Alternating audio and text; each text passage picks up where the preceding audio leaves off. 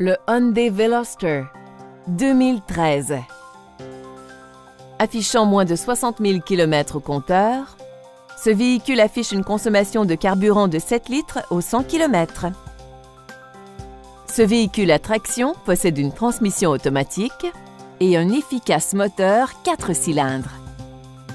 Parmi les principales caractéristiques, on retrouve un système à télédéverrouillage, l'ouverture automatique de la glace du conducteur, essuie-glace arrière et un régulateur de vitesse. Ces attrayants trous en alliage s'harmonisent aux formes des ailes qui accentuent le caractère sportif du véhicule. Voici un véhicule d'occasion certifié qui a passé haut la main l'exigeant processus de certification de Hyundai. Nous serons aussi en mesure de réviser toutes les options de financement de votre prochain véhicule.